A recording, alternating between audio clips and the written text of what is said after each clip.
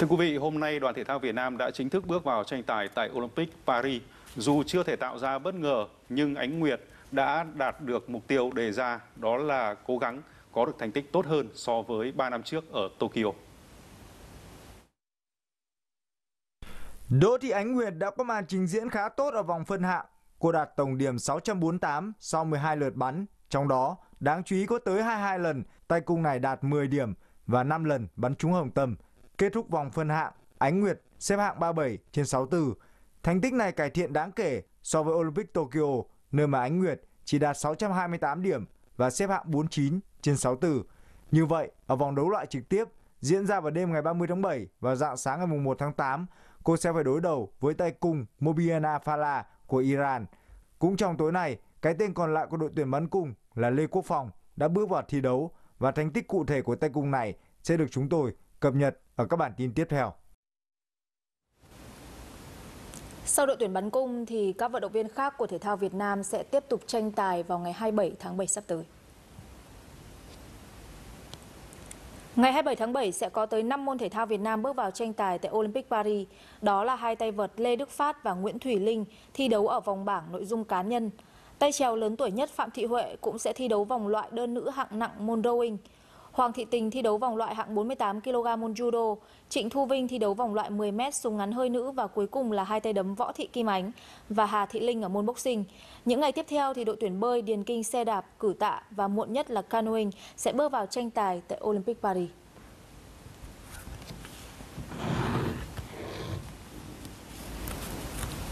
Như vậy là Olympic Paris đã bước vào những nội dung tranh tài đầu tiên tại kỳ Thế vận hội mùa hè năm nay thì bắn súng được coi là một trong những môn thể thao sẽ mang lại những kết quả tốt cho đoàn thể thao Việt Nam. Và trước khi Trịnh Thu Vinh và Lê Thị Mộng Tuyền bước vào những màn tranh tài của mình thì chúng ta hãy cùng lắng nghe những chia sẻ của huấn luyện viên Park Chung-hun về quá trình chuẩn bị của toàn đội.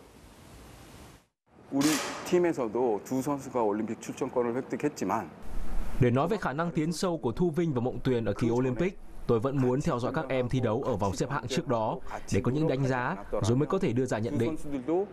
Sau khi tham dự lễ khai mạc Olympic, Trịnh Thu Vinh sẽ thi đấu tại vòng xếp hạng vào ngày 27 tháng 7. Một ngày sau sẽ có kết quả để đấu chung kết. Ngày 28 tháng 7, Mộng Tuyền cũng sẽ thi đấu vòng xếp hạng và đợi kết quả được công bố một ngày sau để xem có khả năng vào chung kết hay không. Ban huấn luyện sẽ cần phải xem màn thể hiện ở vòng xếp hạng, rồi sau đó mới đưa ra những đánh giá chuyên sâu. Bây giờ điều quan trọng mà hai vận động viên cần cải thiện là về tâm lý thi đấu. Đối với hai tấm vé đến Olympic 2024 của Thu Vinh và Mộng Tuyền thì đều nằm trong dự tính của ban huấn luyện sau những đánh giá chuyên môn xuyên suốt quãng thời gian qua. Cả hai đều là những vận động viên có tài năng, nhưng để thành công trong tương lai vẫn cần đi theo đúng lộ trình phát triển, không thể đốt cháy giai đoạn. Để các xạ thủ trẻ phát triển tốt nhất, họ cần có cơ hội tham dự nhiều giải đấu quốc tế. Phong độ của các vận động viên bắn súng thường khó ổn định. Đôi khi họ thể hiện phong độ rất tốt, nhưng chỉ một sai lầm nhỏ thôi cũng có thể ảnh hưởng đến kết quả chung cuộc. Vì vậy, bên cạnh việc luyện tập, thi đấu các giải trong nước, chúng tôi phải có những chuyến tập huấn nước ngoài. Và như tôi đã nói, không chỉ về mặt chuyên môn, Điều mà các xạ thủ cần phải cải thiện lúc này đó chính là bản lĩnh, tâm lý thi đấu. Các em cần giữ được sự tập trung, làm quen với những áp lực, không khí căng thẳng giống với điều kiện khi bước vào tranh tài tại các giải đấu. Trước Olympic, đội tuyển bắn súng Việt Nam cũng đã có kế hoạch tập huấn tại Hàn Quốc, sau đó là Hungary, trước khi có mặt tại Pháp để sẵn sàng tranh tài. Đối với Tuyền và Vinh, bản thân hai em đã tự cảm nhận được áp lực và trọng trách đang gánh vác trên vai khi tranh tài tại Olympic. Nên tôi cũng chỉ nhẹ nhàng khuyên bảo, động viên và cổ vũ tinh thần cho các em. Hiện tại các thành viên của đội tuyển bắn súng Việt Nam tham dự Olympic Paris đang nỗ lực hết sức trong từng buổi tập để sẵn sàng cho những ngày tranh tài. Ở đấu trường lớn nhất hành tinh như Thế vận hội hay bất kỳ giải đấu nào, rất nhiều vận động viên tranh tài nhưng chỉ có 3 người có cơ hội giành huy chương.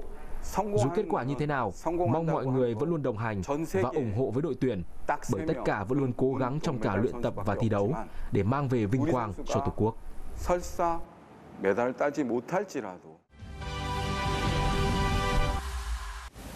Còn ở môn judo thì vận động viên Hoàng Thị Tình cũng đã có được những vinh quang dành riêng cho mình tính tới thời điểm này với sự nỗ lực và cố gắng không ngừng nghỉ khi theo đuổi giấc mơ đến cùng. Cái duyên với thể thao cùng với ý chí nở muộn đã giúp cô biến những hoài bão lớn của mình trở thành sự thật, cùng với đó là tấm vé để tham dự Olympic Paris 2024.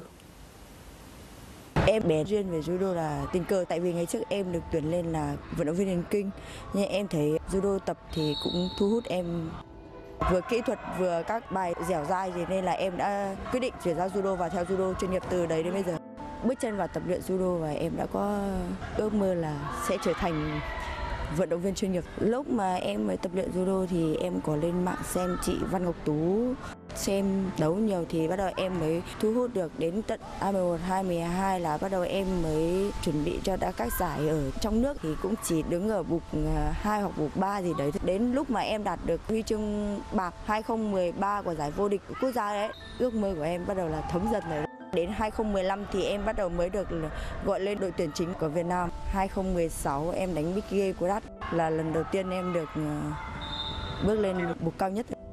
Kỳ SEA Games đầu tiên 2019 không có hạng cân 48. Em đã chuyển sang Kurat. Lần đầu tiên em đánh Kurat mà em được đứng ở bục cao nhất. Thì không được đánh judo thì cũng hơi buồn một chút thì em chỉ đánh hạ cân 48 thôi. Em không hối tiếc từ hồi em bước chân vào thể thao là dành hết tuổi thanh xuân của mình dành cho thể thao, quyết tâm theo đuổi đến hết chặng đường của mình. Đến thời điểm nghỉ thì em sẽ chuyển sang công tác huấn luyện để trao dồi lại các kỹ thuật kinh nghiệm cho các à, em kế tiếp của mình để các em phấn đấu được hơn các chị và mang minh quang về cho thể thao Việt Nam. Năm 2010, chỉ một chuyến dạo chơi bên Hồ Tây, xem các vận động viên đua thuyền Việt Nam tập luyện và cơ duyên ấy đã khiến cho chuyên gia Joseph Donnelly gắn bó với đội tuyển rowing và đất nước Việt Nam 14 năm qua với một tình cảm vô cùng đặc biệt. Một cái duyên góp phần đưa rowing Việt Nam góp mặt tại Olympic nhiều kỳ liên tiếp. Ban đầu, chuyên gia Joseph Donnelly chỉ nghĩ rằng mình gắn bó với đua thuyền Việt Nam với tư cách tình nguyện viên. Thế nhưng, mối lương duyên ấy đã gắn bó gần 15 năm. Năm 2010, tôi đã có một cuộc gặp gỡ với ban huấn luyện của đội tại Hà Nội. Tôi thử huấn luyện các vận động viên trong vòng 4 ngày. Sau đó các huấn luyện viên cũng muốn tôi huấn luyện đội tuyển rowing Việt Nam chuẩn bị cho ASEAN vào năm 2010. Tôi đồng ý Tôi về Australia chuẩn bị cũng như là làm việc hết công suất. Tôi soạn giáo án cho họ. Sau đó tôi sang Việt Nam trực tiếp huấn luyện các vận động viên. 14 năm kể từ khi ông Joseph Donnelly gắn bó với đua thuyền Việt Nam, từ vị thế của một nước không được đánh giá cao, rowing Việt Nam đã có những bước thăng tiến ngoạn mục. Ông cùng ban huấn luyện góp phần tạo ra những nhà vô địch của Đông Nam Á, châu Á. Hơn thế nữa, giúp rowing Việt Nam giành vé tới Olympic 4 lần liên tiếp.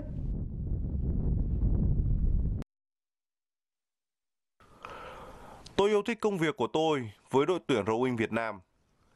Tôi mong muốn và hy vọng ban huấn luyện sẽ cần tôi và giữ tôi để cùng nhau hỗ trợ cho công việc này.